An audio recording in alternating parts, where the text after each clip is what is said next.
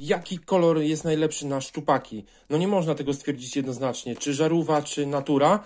Przede wszystkim prowadzenie gumy. Na pewno mieliście taką sytuację, jak szczupak wam odprowadza przynętę, albo okoń, stoicie gdzieś na pomoście, z łódki i widzicie, idzie szczupak za waszą przynętą, co wtedy robicie? Wtedy bardziej się staracie, zatrzymujecie, szarpniecie, zwolnicie, przyspieszycie i wtedy najczęściej jest branie. I tak właśnie powinniśmy prowadzić przynętę, jakby za każdym razem za naszą przynętą podążał szczupak. Wtedy właśnie mamy szansę na złowienie.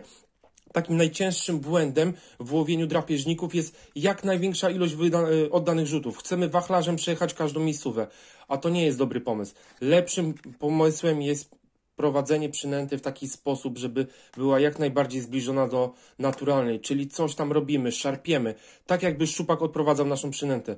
Wtedy na pewno poprawicie swoje wyniki. Nie szukajmy kolorów na siłę.